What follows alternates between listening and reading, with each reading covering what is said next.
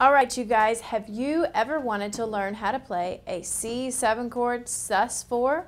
What does that mean? Let's check it out and learn how to play it. Here we go. All right, you guys, so let's talk about how to make a C7 chord sus4. All right, what does that mean? So let's just get a plain and simple C7 chord. So we've got C, E, G, and B flat, okay? There it is. Now what you're gonna do, sus4 means you sustain the four of the scale, which is here. Okay, so instead of playing one, three, five, seven, we're gonna play one, four, five, seven. All right?